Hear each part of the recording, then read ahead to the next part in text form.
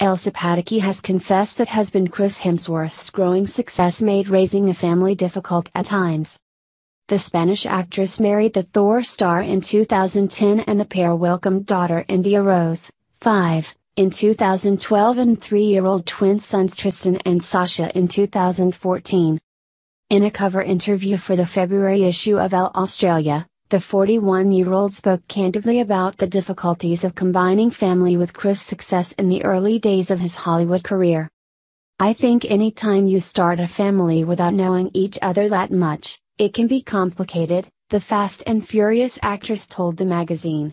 He, Chris, was very young to be starting a family, and at the same time he was juggling that with his career and it was sometimes difficult, there was so much going on but he was always trying to be the best dad and has never failed to make me feel like his family is the most important thing to him and, going through that, is how we've become so strong together.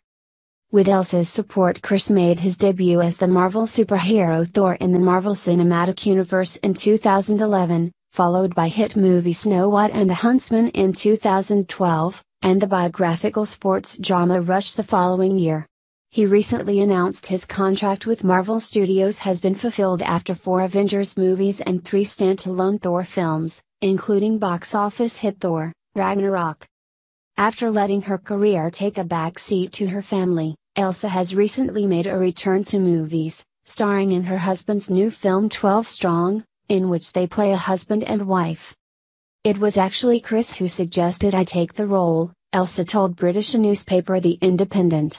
We enjoyed getting to just be us again with no kids and talking about work, which is what we love to do. Chris always tries to get the best out of me and I think the best of him, so we challenge each other.